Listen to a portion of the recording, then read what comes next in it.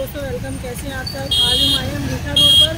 और जो फ़ेमस है कालामाला चौक यहाँ पर जतिन जी अपनी कार्ड लगाते हैं गोलगप्पे की काफ़ी वैरायटी है। और आपको दिखाते हैं और खाते भी हैं और पूछते भी हैं उनसे नमस्ते भैया। भैया आपका नाम क्या है? मेरा नाम कृष्ण दास। किशन दास जी है ठीक है। वो कितनी देर से ये कार्ड लगा रहे हैं? पाँच साल पाँच साल से। और लोकेशन क्या पड़ती है ये?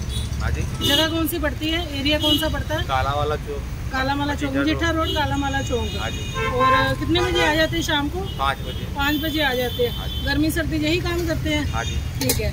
और कितनी देर तक रहते रात को? नौ बजे तक। नौ बजे तक रहते छुट्टी करते हैं कोई? नहीं कभी कभार कर कभी कभार हो। जाती है। और वैरायटी कौन कौन सी रखी हुई है बताएँ जरा? सूजी वाले आटे वाली। सूजी वाले आटे वाले। और चाट वगैरह भी बना देते हाँ। जो बल्ले डाल के चाट बनाते हैं पापड़ी चाट होती है हाँ वो भी तैयार हो जाती है। हाँ और जो आजकल चलता है उसको क्या बोलते हैं? कांजी वड़ा? वो भी आपने रखा है।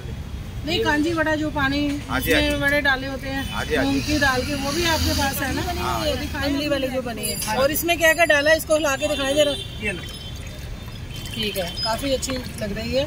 और इसमें बड़े कौन से डाले हैं? इसमें मूंग दाल के ठीक है और कितने का ग्लास देते हैं ये बना के? हाँ अगर अलग से किसी ने पीना हो तो। तो बीस रुपए का। बीस रुपए का। कितने बड़े डालते हैं उसमें? दो। दो बड़े डालते हैं। हाँ और चाट के ऊपर भी डाल देते हैं ये? हाँ। ठीक है। और और गोलगप्पे कौन से है? ये ये आटे वाले और ये आटे वाले। आटे वाले ये सूजी वाले। ये सूजी वाले। ये कितने के मिलते हैं? बीस आटे बीस के छह मिल जाते बीस के छः और सूजी वाले? सूजी वाले सेम रेट। सेम ही रेट है। और चाट की प्लेट कितने की तैयार है? चाट तीस रुपए। तीस रुपए की जी आप बना रहे हैं ना किसी की? हाँ जी, क्या ये क्या देखो। डाला आपने इसमें?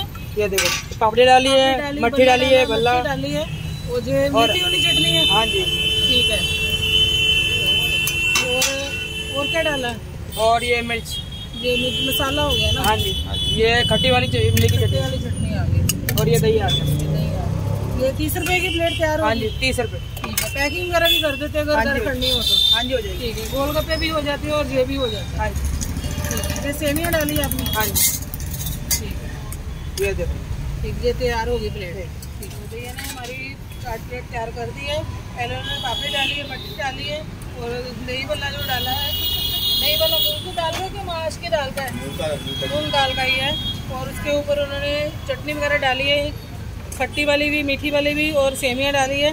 वो तीस रुपए की ये प्लेट तैयार होगी। ये पैकिंग कर देते हैं और जहाँ पर खा भी सकते हैं पाँच बजे आ जाते हैं भैया।